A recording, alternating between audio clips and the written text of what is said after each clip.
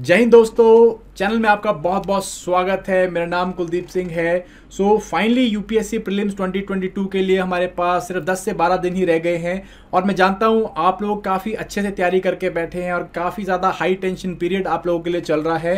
Specially जो जो candidate बहुत सीरियसली प्रिपेयर कर रहे हैं तो इस टाइम पर आप करंट अफेयर्स रिवाइज कर रहे होंगे, आप अपना जीएस का मॉड्यूल रिवाइज कर रहे होंगे, आप अगर हो सके तो लाइक एम भी अटेम्प्ट कर रहे होंगे टेस्ट सीरीज़ दे रहे होंगे।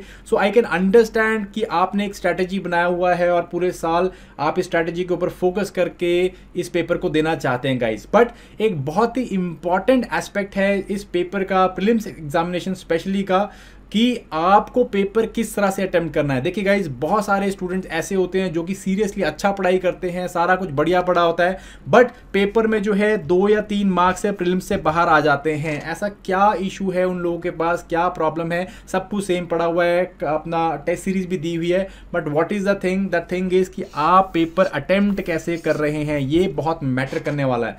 सो so, आज के सेशन में हम लोग यही बात करेंगे कि आप किस तरह से पेपर को अटैम्प्ट करो और किस तरह से आप अपना प्रिलिम्स जो है उसे सुनिश्चित कर सकते हैं। सो चलिए गाइस स्टार्ट करते हैं विदाउट फर्दर रिड्यू अगेन हमारी एप्लीकेशन को डाउनलोड ज़रूर करिए। बहुत सारा पेड और फ्री कंटेंट यहाँ पे पड़ा हुआ है। आपको यूपीएससी की तैयारी में हेल्प करने वाला है। अगर आप हमारे साथ बैठ के तैयारी करना चाहते हैं तो ट्वेंटी के अगले साल के अगले से अगले साल के बैच जो है ऑलरेडी चल रहे हैं गाइस ठीक है जी? तो चलिए, इस चीज़ के ऊपर हम प्रॉपरली बात करते हैं कि भाई क्या स्ट्रैटेजी होनी चाहिए आपकी जब आप क्वेश्चन पेपर को अटेम्प्ट करो, क्योंकि वो बहुत इंपॉर्टेंट है, जैसे मैंने आपको बताया।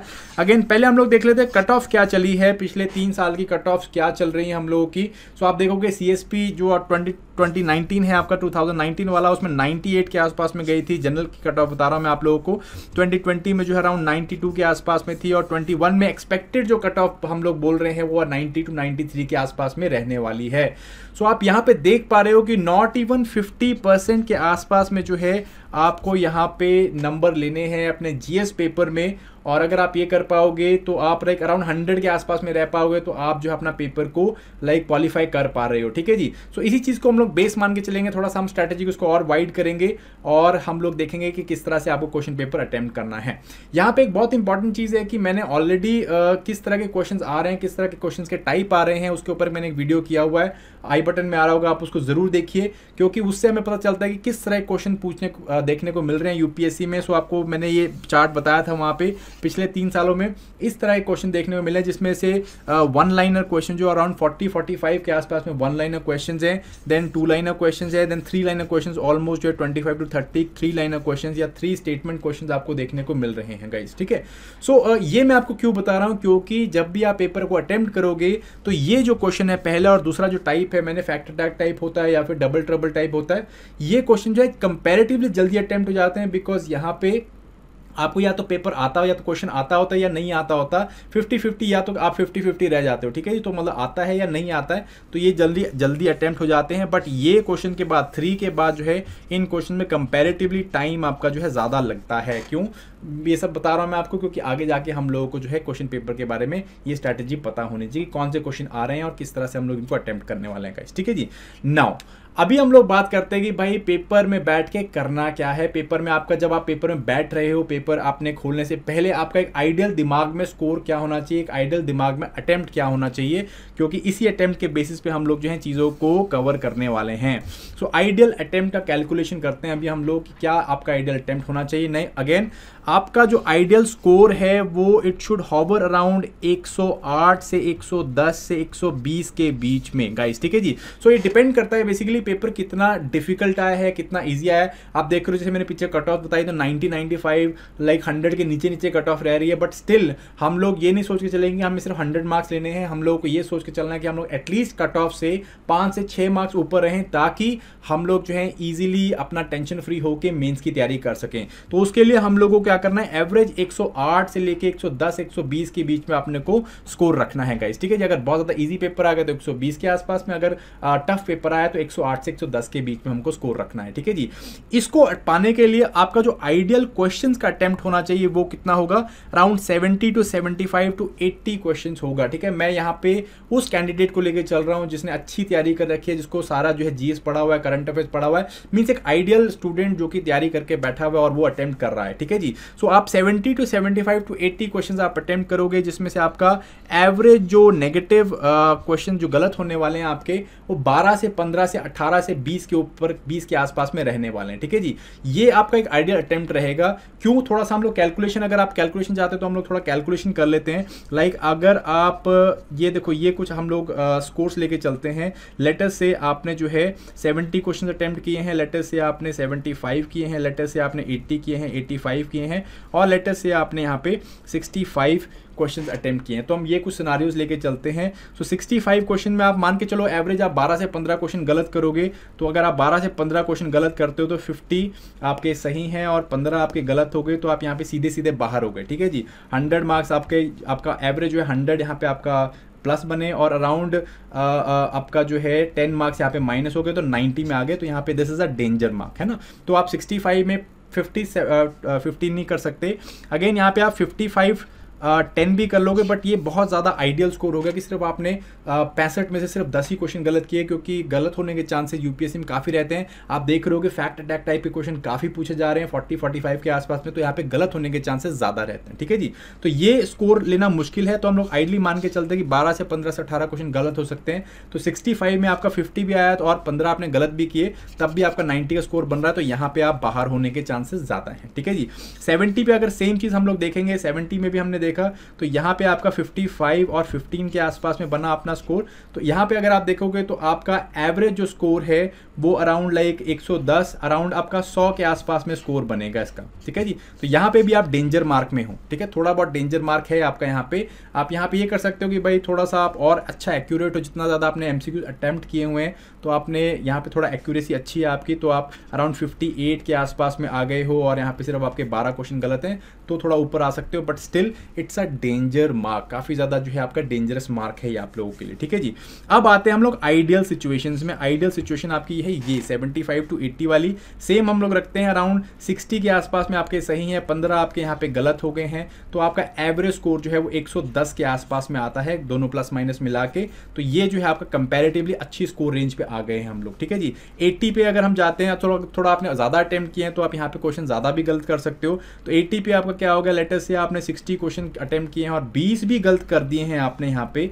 तब भी जो है आपका ओवरऑल स्कोर जो है वो अराउंड 107 के आसपास में जा रहा है, ठीक है जी? अगर यहाँ पे आप सिक्सटी फाइव और 15 पे जाते हैं तो ये स्कोर जो है आपका काफ़ी ज़्यादा अच्छा हो जाता है। ये स्कोर आपका जो है अराउंड अराउंड 120 के आसपास में हो जाता है, ठीक है जी? 85 में चले जाओगे तो 85 लाइक थोड़ा सा ज़्यादा ऑप्टिमिस्टिक हो जाता है। इसमें आपके जो है गलत होने के चांसेस काफ़ी ज़्यादा हो जाते हैं। तो यहाँ पे आप ट्वेंटी या फिर आप ट्वेंटी के आसपास में भी गलत कर सकते हो, ठीक है जी? तो यहाँ पे अगर आप ये करोगे तो आपका स्कोर अगेन जो है वो सौ के आसपास में आ जाएगा which is not very good तो यहाँ पे मेरा कहने का मतलब क्या है कि मैं इसको, इस नंबर को जस्टिफाई कैसे कर रहा हूँ, वो it is purely based on calculation आपको जो है 65 अटेम्प्ट नहीं करके आने हैं, आपको कम से कम कम से कम 70 या 75 या 80 के आसपास में अटेम्प्ट करने हैं और आपका ideal range has to be 75 to 80 ठीक है जी? ध्यान से रियाज इसको सोच के चलना है कि पिछहत्तर से अस्सी आपको क्वेश्चन अटेम्प्ट करने हैं। मैं उस स्टूडेंट की बात कर रहा हूँ जिसने अच्छे से तैयारी कर रखी है, उनकी बात हो रही है यहाँ पे।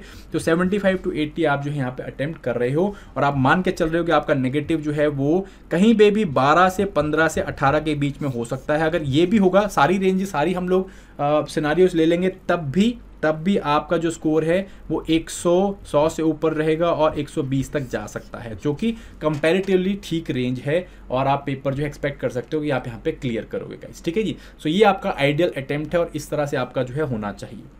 याद रखना है इसको, ठीक है? नेक्स्ट हम लोग बात करते हैं आफ्टर दिस हम लोग बात करेंगे किस तरह से पेपर को अटेम्प्ट करना है। नाउ अटेम्प्ट आपको जो है पेपर करने हैं राउंड्स में। लाइक like मैं बोलता हूँ कि एटलीस्ट आपको तीन राउंड्स लेने हैं, तीन बारी जो है पेपर को स्टार्ट से एंड तक देखना है और वहाँ पे पेपर अटेम्प्ट करना है। लाइक वेव वन एक पहली वेव में आप अटेम्प्ट करोगे वेव टू में अटेम्प्ट करोगे और वेव थ्री ये तीन जो है आपके अटेम्प्ट यहाँ पे रहने वाले हैं गाइस ठीक है जी? नाउ इसके लिए क्या होगा? सबसे जो पहला राउंड है आपका, ये बहुत ही क्रूशल होगा आपका। जब स्पेशली लाइक आपका टाइम स्टार्ट हो गया, आपने पेपर खोला और सबसे पहले आपने क्या करना है आपने एक एक करके सारे क्वेश्चन देखने हैं हंड्रेड तक, ठीक है? पर ये नहीं करना कि सिर्फ़ क्वेश्चन देखने मैं भी बताता हूँ। सिर्फ़ यहाँ पे क्वेश्चन देखने नहीं है, आपको वो क्वेश्चन अटेम्प्ट करने हैं जिस पे आप 90 टू 100 परसेंट श्योर हो कि भाई इसका आंसर तो यही है, ठीक है जी? क्योंकि फैक्टर टाइप टाइप क्वेश्चन आप लोग फोर्टी फोर्टी फाइव के आसपास मिल रहे हैं लाइक डबल ट्रबल क्वेश्चन आपको जो है अगेन दस से पंद्रह मिल रहे हैं तो आपके सिक्सटी सिक्सटी फाइव क्वेश्चन ऐसे होंगे जिसमें या तो आपको फिफ्टी फिफ्टी होंगे या तो आता होगा तो बिल्कुल नहीं आता होगा या फिफ्टी फिफ्टी होंगे आप, है ना?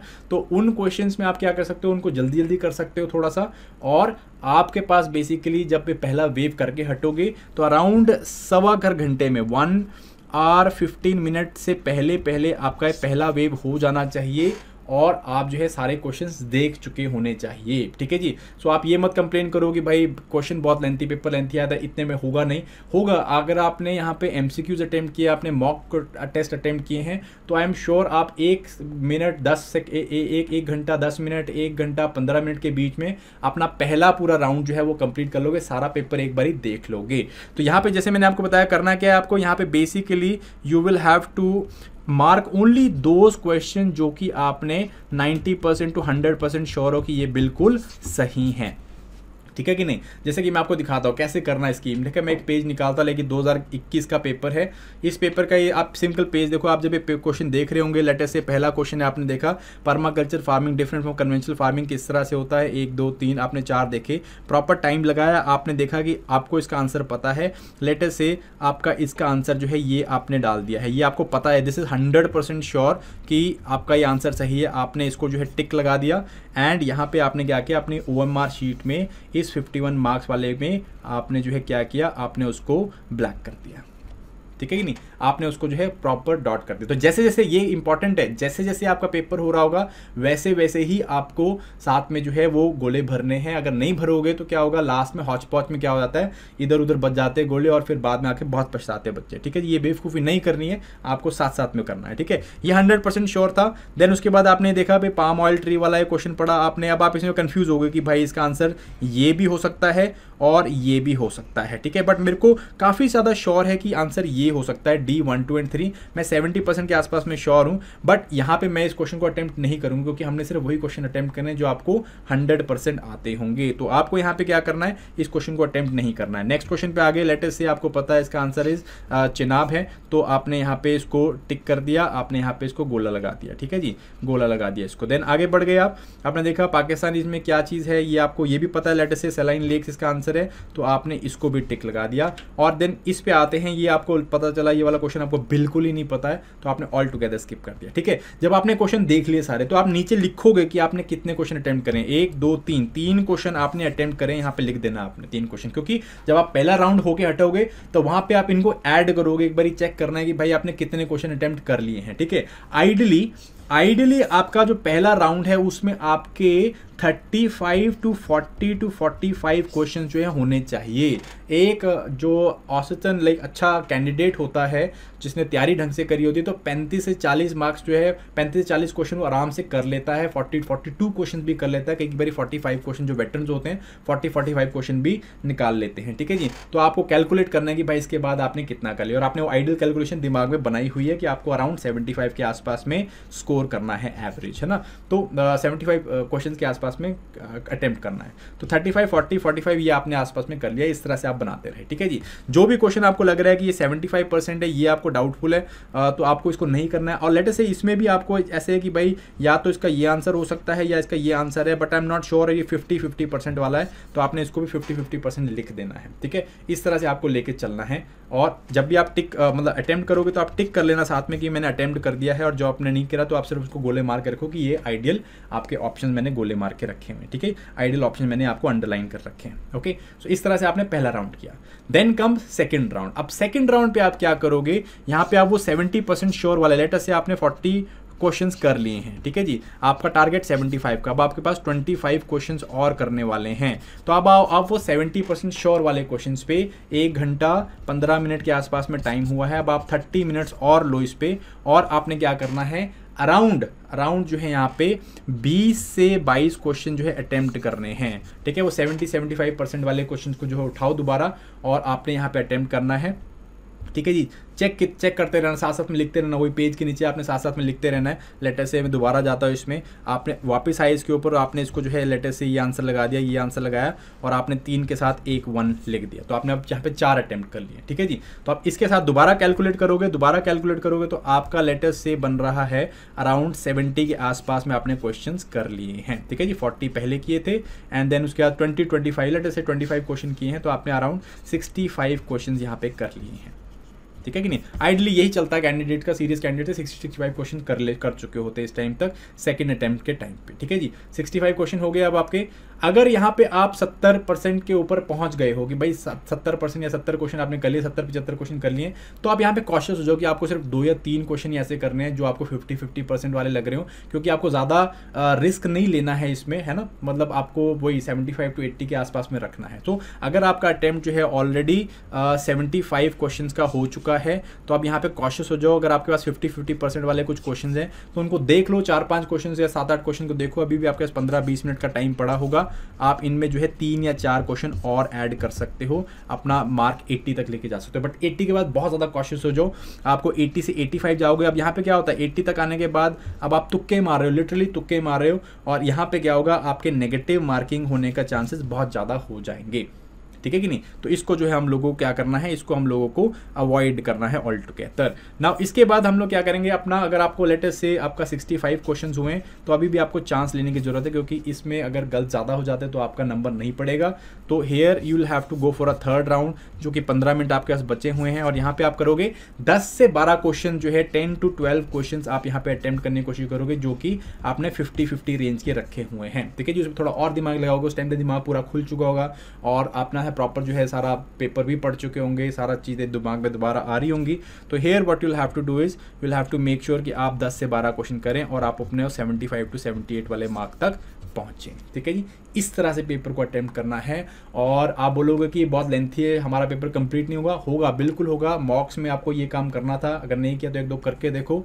यहाँ पे जो है this is going to help you out और आप वो अपने मैजिक नंबर में पहुँचोगे और बहुत अच्छा चांस है आप हंड्रेड प्लस स्कोर करोगे और कट ऑफ़ से काफ़ी ऊपर रह जाओगे गाइस काफ़ी ऊपर चले जाओगे ठीक है जी?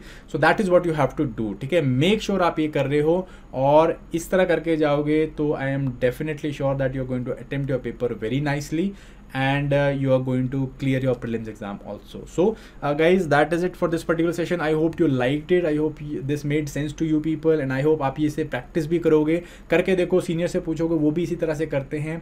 Try and practice it and if you can perfect it that is going to help you achieve your prelims examination so guys prelims से पहले और कुछ आपके लिए इंपॉर्टेंट इंटरेस्टिंग सेशन लेके आता रहूँगा, जिसमें हम लोग बात करेंगे क्या करना है डूज एंड डोंट्स के बारे में।